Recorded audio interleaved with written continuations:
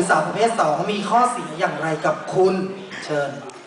เอ่อข้อเสียของดิฉันนะคะที่เห็นได้เลยนะคะ จากชีวิตประจำวันของดิฉันก็คือ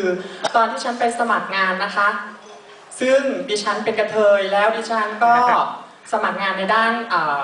ด้านไอทีนะคะ แล้วฝ่ายสำนักบุคคลบอกดิฉันว่า ดิฉันเป็นกระเทยไม่สามารถรับคุณเข้าทำงานได้ เพราะจะมีปัญหาภายในภาคหลัง ดิฉันก็เลยบอกว่าอ๋อไม่เป็นไรค่ะ เพราะว่า